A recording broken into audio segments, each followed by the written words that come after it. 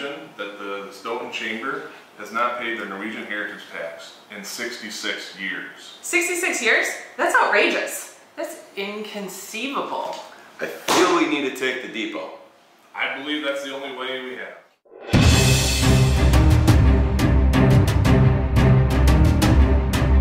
Laura, you haven't paid Norwegian heritage tax in 66 years. Good one, Lucas. That's no joke.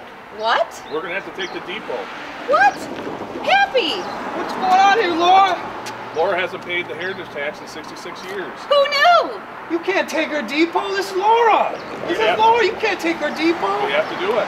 Don't worry, Laura. I'll save the chamber.